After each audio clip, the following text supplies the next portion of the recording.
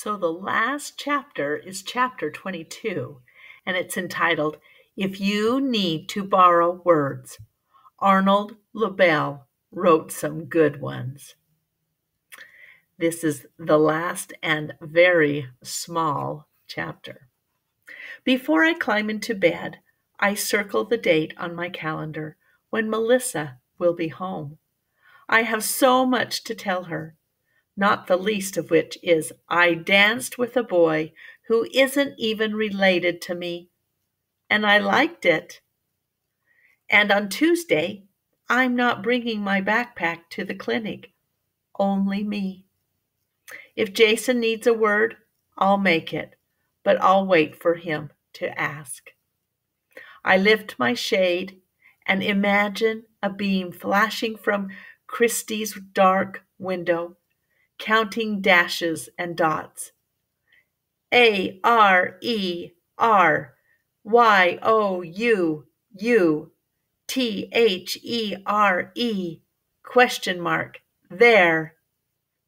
But there is no light. Her window stays dark. Only the street lamps and the stars shine. White brightness. The tiniest knock comes, and my door creaks open.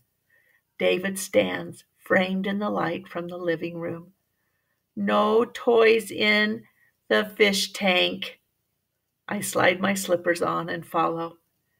In the aquarium, a toy wizard stands on the gravel, his wand raised mid spell.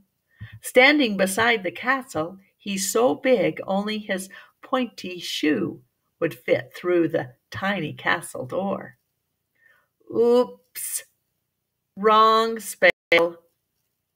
And instead of a fierce dragon to slay, a huge, curious goldfish moused the end of the wizard's hat.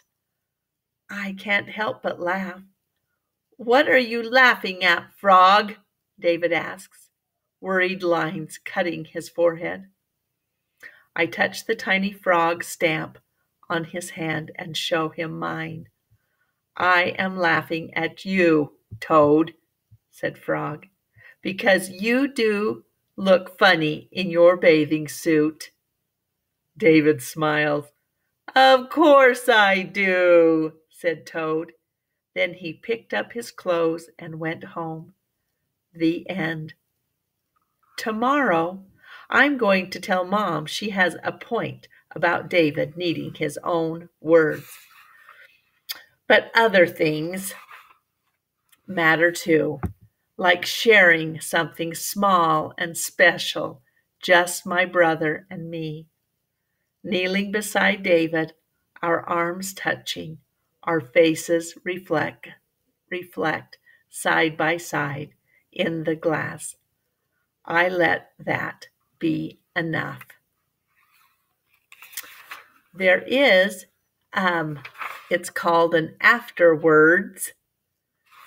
and it's questions and answers uh, with the author. But maybe you can do that with just yourself. The end. I sure hope you enjoyed reading this story with Mrs. Wilson because I sure enjoyed reading it with you.